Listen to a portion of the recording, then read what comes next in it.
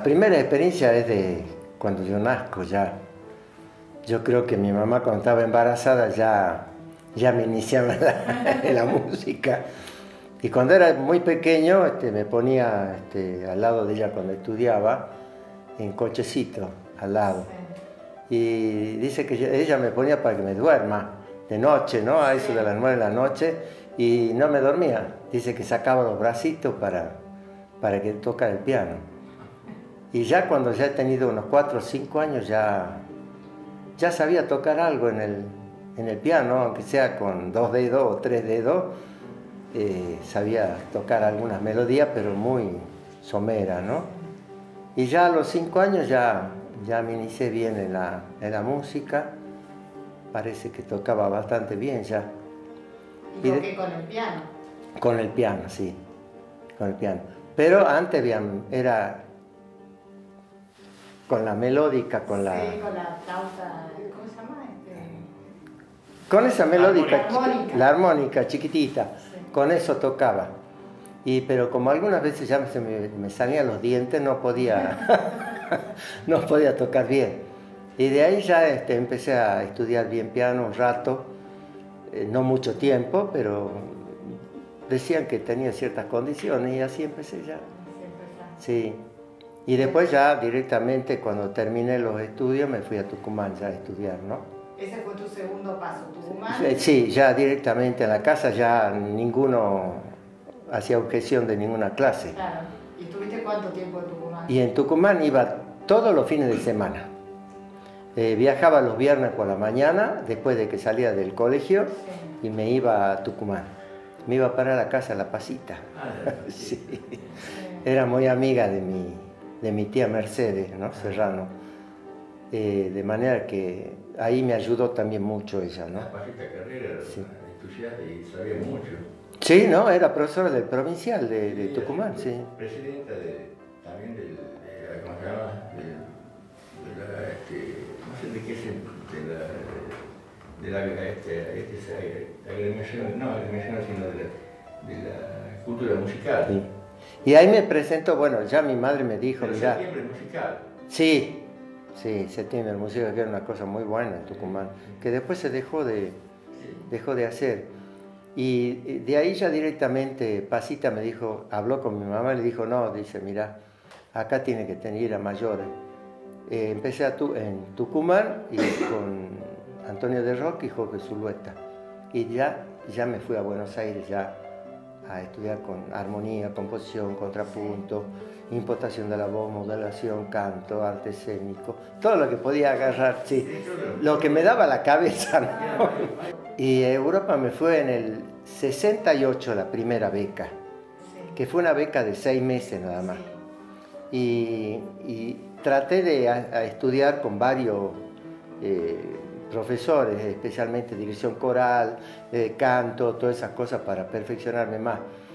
Y me dieron la beca por seis meses. Terminé eso y yo tenía que completar los estudios de licenciatura. Quería terminarlo, no los iba a dejar allá. Y me dicen, no, allá lo podés seguir, pero tenés que traer todas las materias, tenés que ir al Ministerio de Relaciones Exteriores y Culto, hacer sellar todo eso. Es demora como una barbaridad para hacerse ya todos los estudios en el Ministerio de, em, de Exteriores. Y bueno, de ahí me, vine acá, rendí algunas materias, terminé la, licenciatura y directamente ya en el 69 me fui también, Marañón me dio la beca, me dio la beca ya y ya me quedé todo ese año. Después volví en las vacaciones y, empezó, me dijeron que tenía que estudiar tantas cosas, eh, eh, tantas materias que, no había, que no la había perfeccionado porque había una que era muy difícil, especialmente en historia de España. Tenía que conocerme toda la historia de España. Todos los becados le exigen eso, ¿no? Toda la historia de España. Entonces, bueno, me vine acá en las vacaciones, me puse con Delia Dagu, y todo un grupo así de gente, Teresa Cadena, me dice, mira, dice, Historia de España. Claro, te vamos a enseñar unas charlas. Entonces todos los domingos y los sábados nos reuníamos con ellos para hacer las charlas de, de la cultura hispánica. Y ahí es donde yo me enteré, enteré más de lo que era España en sí, ¿no? La cultura mozárabe. Claro. Y de ahí este, empecé ya a venir cada seis meses, en términos que nos daban a nosotros, términos en la Complutense, eh, me vine acá. Y en el año 74 ya me dieron la beca por tres años seguidos. Sí. Y ahí después ya directamente ya me vine para acá. Esa es la beca Instituto. Es de cultura hispánica, es la que saca, sí, Sí, sí, sí. sí. ¿Y qué otro instrumento has aprendido? Chelo. Allá estudié chelo, dirección orquestal. Yo creo que tengo acá unos, no sé si me permiten, tengo este, una fotocopia de los certificados que hice el curso. Ajá. Sí. De, chelista también. Pero vos considerás que tu amor es con el piano. Con el, eh, para mí ha sido el piano lo más importante. Para mí lo más importante ha sido el piano. ¿Y la docencia también? ¿La Eh, primero ha sido la docencia, Mm, porque yo me inicié en la escuela Mitre siendo muy jovencito. Ahí a donde, eh, atrás del, frente al ejército, pues, la escuela Mitre, Bartolomé Mitre, es gente de muy pobres. Eran todos ¿Y chicos despálidos. la música? ¿Cómo, cómo se daba? La hora de alegría para ellos era la de la música, pues yo los hacía bailar de todo. Claro. Gato, samba, sos tango. como profesor. ¿Sos porque seguís ejerciendo en el bachiller? Sigo, sí. Yo acá, cuando me inicié de profesor, eh, nos pidieron en el Consejo de Educación que rivalidemos los títulos. El mío era nacional, no tenía por qué revalidarlo. Pero acá había una junta de calificación que si uno no hacía ese examen, no lo nombraban titular de escuela de música. Entonces yo me presenté al examen. sí. Y bueno, presenté antecedentes, presenté título y rendí el examen porque me- lo primero que pedían era que se sepa tocar bien el himno nacional, marcha bandera, marcha Sarmiento, una sonata de Beethoven, estudios de Chopin, algo de Liszt, algo de, de Schumann, algo de Schubert. Yo me, ya eso lo tenía, no tenía problema. Así que me presenté y a los tres meses me nombraron ya titular Sí. en la escuela Mitre. Yo tenía 20 19 años. Sí. Pero las becas, me las, cuando Claro. yo me fui, me las, me daban las, ellos Claro, me, sí, me daban licencia. ¿Te alcanzaba para vivir? ¿Cómo? ¿Te alcanzaba para vivir las becas? Sí, la- el fondo de, de cultura hispánica era, mm, ¿cómo te puedo decir? Eh, muy bueno en sí. Te daban la beca y aparte te daban, si querías pagar en la parar en la residencia universitaria, podías parar. Y si no, como en la residencia universitaria había un piano, pero todo medio destartalado, yo planteé con don Alfonso de Borbón, yo le dije, mire don Alfonso, no estaba ya este Marañón, le dije, mire don Alfonso, yo quiero este, salir de la residencia universitaria porque ese piano para mí no da más ya. Entonces me dice, usted tiene razón, dice, déjeme a mí, dice que ya vamos a ver cómo, cómo solucionamos el problema. A la semana me llamó, yo estaba en la residencia y justo estaba por salir para la Universidad Complutense y me dice, mire, tengo una novedad. Nosotros le podemos dar este, un alojamiento, eh, un- una subvención para el alquiler del departamento. Eso le va a alcanzar y le va a cubrir todos los gastos. Porque hay que ver, la Universidad Complutense es cara es cara, hay que pagar este, derechos de admisión, un montón de cosas. Pero a los becarios de la, eh, nos daban ciertas, ciertas normas mucho más benévolas. Y, y ahí me fui a un departamento ya. Y al frente del departamento yo fui este, justo a una cuadra del centro de la ciudad. Y era el primer... Sí, al frente era la casa de venta de piano. Ah, justo, venta de piano. Yo fui a buscar los Sí, departamentos sí, y yo le dije, mire, he encontrado eso, ¿qué le parece? Dice, bueno, si he encontrado eso, vamos a hacer una cosa. Vaya al banco, Sí. abre una cuenta y nosotros se la depositamos ahí. No le vamos a dar en efectivo, sino usted regula lo que le depositamos ahí. Claro, uno se ve a lo mejor con plata ahí, enseguida. No, en cambio, ahí de esa forma uno sac- sacaba las cuentas, sacaba bien lo que tenía en el banco y pagaba todo.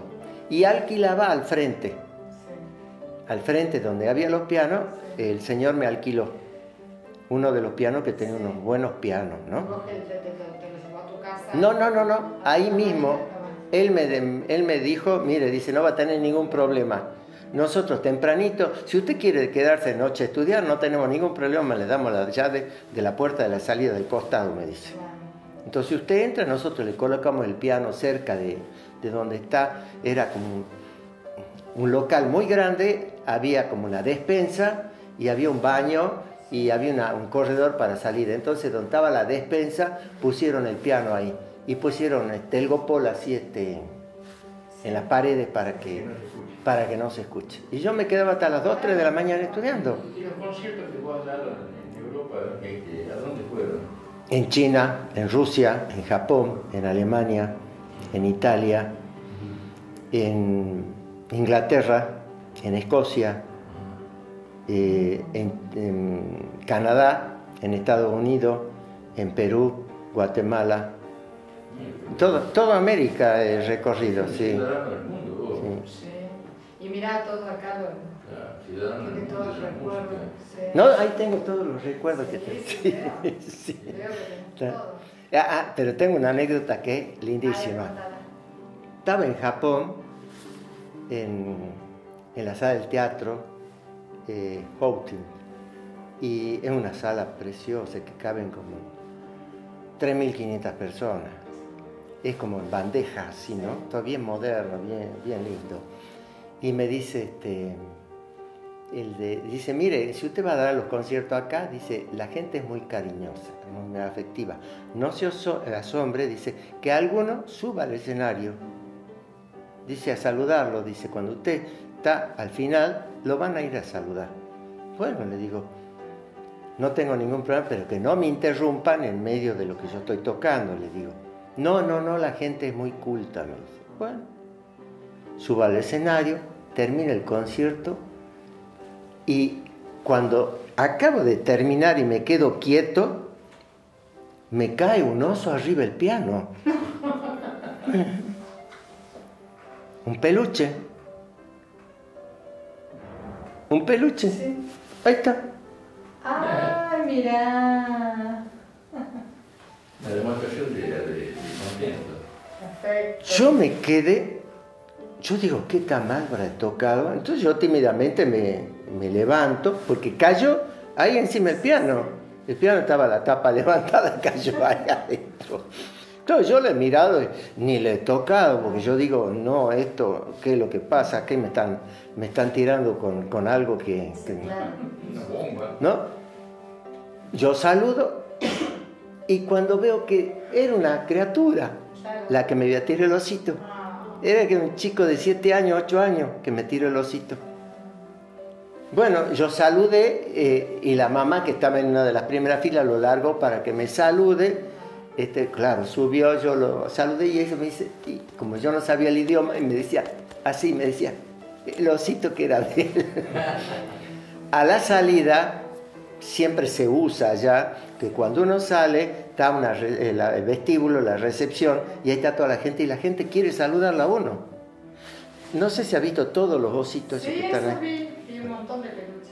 Todos esos peluches, no porque sea yo guagualón ni niño, todo eso ha sido el cariño que me han dado. Ah, qué. Cada concierto que iba, algún, algún ¿En peluche. O en otros? No, en varios, en varios, en varios, no solamente en eso.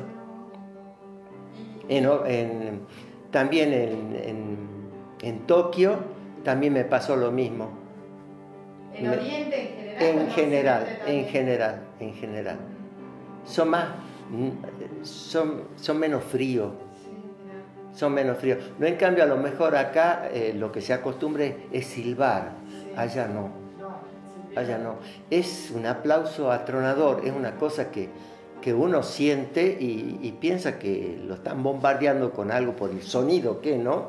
Es como si fueran petardos como suena en el teatro estando arriba del escenario. Una cosa es estar en el eh, abajo en la platea y otra cosa estar arriba. Es una cosa muy emocionante, en serio. actividad como coreuta, ¿Cómo? con tu actividad como coreuta, ¿tenés, tenés alguna El- sí, sí. Tengo varios premios como coreuta. Ahí también tengo uno, un librito, qué lástima que no le traigo porque si no lo voy a estar interrumpiendo con la, Con la filmación. Este, ahí tengo el premio, este, el Colegio Santa Teresa, el que dirigía Susana Martorell, Sí. la CONI. Tiene medalla de oro del Ministerio de Educación, Ajá. la dirección que he tenido yo. Y el coro de la Católica también tiene medalla de oro. Y el, ¿Cuántos libros Cuatro libros. ¿eh? cuatro libros, y tengo uno, dos que están en, en edición, sí. Dos que están en Ah, edición. ya. Sí. Y hay otro más de CD. contanos de tus pinturas. Ah, de la pintura. Bueno, ese es una, un pasatiempo. Yo cuando viajo a algún lugar, eh, la ventaja que tengo yo es que me atienden muy bien. Cuando me invitan, eh, voy a parar en la residencia universitaria o alguna embajada. Entonces, parando en la embajada es más cómodo porque a uno le ponen un intérprete. La última vez me han puesto un intérprete, una, señorita japonesa eh, que hablaba hispánico y no entendía. bueno. Y ella manejaba un autito medio chiquito, así como una renoleta chiquitita, y me llevaba a todos lados. Entonces yo ahí me podía decir, bueno, podemos ir a tal, tal ¿qué tal es lindo? Acá tal lado es lindo, me dice, vamos a ver, vamos a ver. Me llevaba. Y ahí me sentaba, yo llevaba material y me sentaba, dibujaba o lo pintaba directamente ahí, ¿no? Lo bosquejaba ya listo, lo guardaba. Así el boceto. Sí. Pero eh, lo, ahí nomás, ¿no? Lo, después lo coloreaba ya, ya directamente. Sí. Y algunos que lo terminaba y lo hacía doble.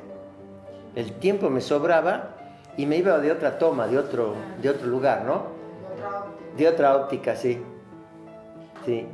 Y ese es un pasa- uno de los tantos pasatiempos que, que tengo. Otro de los pasatiempos es que siempre me llevo algún libro, ¿no? De leer. ¿y, ¿y tu actividad como mecena en qué, en qué consiste? Es que traer gente de afuera que dé conciertos acá y se lo conozca. Y le pago, yo le pago todo, Todo ¿no? recursos propios. Todo el recurso propio, sí. Ajá. sí. No, el Estado no. El Estado te dice, sí, haga una nota, le vamos a pagar dentro de seis meses, después nunca más se supo. Sí. Eso no. Eso es lo que pasó a Marta Argerich, ¿no? La última vez que vino. No le, no le pagaron el calle. Yo cuando estuve ella, últimamente con ella, me dijo no. Yo fui a verla ahora, pues, en julio, Sí. en Buenos Aires, y ella me mandó la invitación para que vaya. Y me estaba contando, yo le digo, che, ¿te pagaron lo que, lo que tenían que abonarte? No, nunca me pagaron. En Salta no vuelvo más. Qué, qué mala, Era en el gobierno de Romero. qué mala experiencia, ¿no? Claro. No, bueno, la mala experiencia es que ¿qué se ha hecho esa plata? Porque esa plata se la ha pedido por medio de nota. Claro. Ah, Entonces, lógicamente, Claro. ¿Qué se ha hecho la plata? También, Yo los del libro directamente hago un presupuesto, Sí, eh, siempre voy a ANE, sí. porque con ANE nos entendemos más o menos bien. Le digo, mira ANE, yo eh, no cuento con los fondos ahora, Sí, pero me gustaría que este libro salga. sí, Yo lo juntaría, ¿cuánto tiempo lo haría? ¿En un mes? Bueno, en un mes yo te puedo juntar la mitad. La otra mitad te la pago después. después, te la pago después. Así hago. Hago un negocio, como diciendo. Y al, y al que le hago la edición, yo le doy la mitad de los libros y la otra mitad yo los regalo, no los... Lo presentás también, lo haces la presentación. la Sí, hago todas las presentaciones, sí. Sí. En la sala, en la sala mía la hago toda. ¿Dónde queda tu sala? Eh, Casero 919.